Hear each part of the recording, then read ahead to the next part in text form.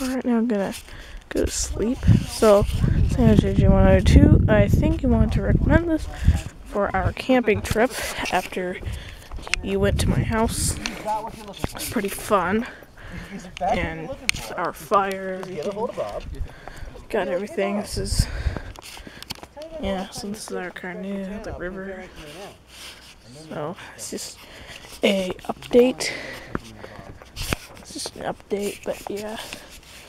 Catching fish. Catch some fish with that fish catcher over there. Just kidding, we're not gonna use it. Because we don't know how to use it. And if we break it, it'll cost like a hundred dollars to fix it. But yeah, well, that's all my video. Just like, subscribe, leave comment below.